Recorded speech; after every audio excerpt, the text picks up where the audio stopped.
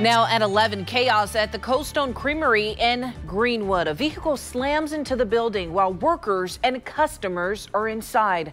Thank you so much for staying up late with us tonight. I'm Amber Grigley. The crash happened around 8 o'clock tonight at the Cold Stone location on US 31. The shopping center was busy at the time. Several people were injured. Our Lauren Casey talked with Greenwood police and has the latest on their investigation. And the police tape is still up here at the Cold Stone Creamery in Greenwood. We're right across the street from the Greenwood Park Mall in the same strip mall as the Bed Bath & Beyond off Fry Road in US 31. You can see here inside, this is the scene tonight just before 8 o'clock where this SUV drove through the glass there on the east side of the building while people were inside.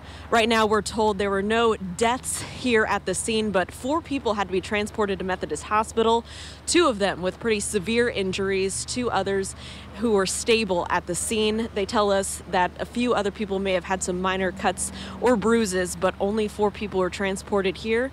Right now, we know that police applied a tourniquet to one woman at the scene who took a direct hit from this vehicle.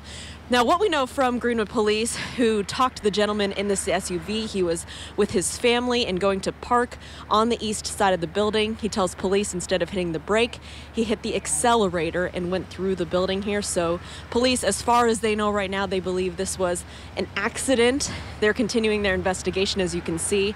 Greenwood police tell me that they did conduct a field sobriety test on the gentleman who drove through this building. They say he passed the test and is cooperating with police.